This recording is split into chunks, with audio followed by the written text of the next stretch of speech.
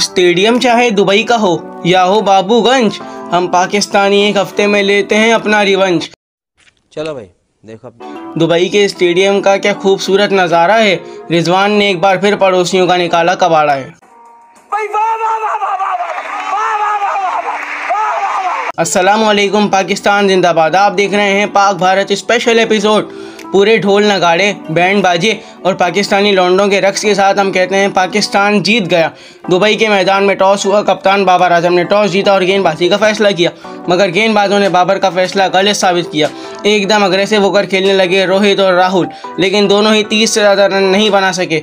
सूर्य भी हांगकॉन्ग के खिलाफ परफॉर्म कर चुके थे तो पाकिस्तान के खिलाफ तेरह रन पर चलते बने। लेकिन मज़ा तो तब आया जब हसनैन ने पांड्या को डक आउट किया। लेकिन विराट की तेज चर्रार फिफ्टी से इंडिया ने पाकिस्तान को एक सौ बयासी का टारगेट दिया।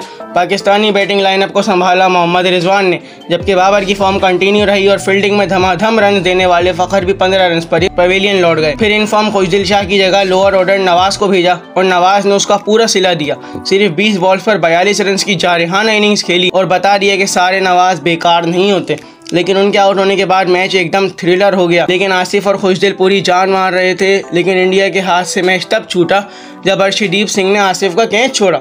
उसके बाद आसिफ ने दो चौकों और एक छक्के की मदद से मैच फिनिश किया और रोहित शर्मा का एक मज़ेदार रिएक्शन देखने को मिला।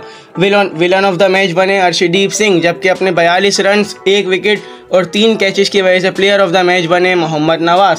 बाकी ईशा कपर लगातार वीडियोस देखने आते रहिए हमारे चैनल क्रिकेट क्लब पर। साथ साथ चैनल को सब्सक्राइब करें बेलाइकन को प्रेस करें ताकि आपको हमारे आने वाली वीडियो सबसे पहले मिल सके।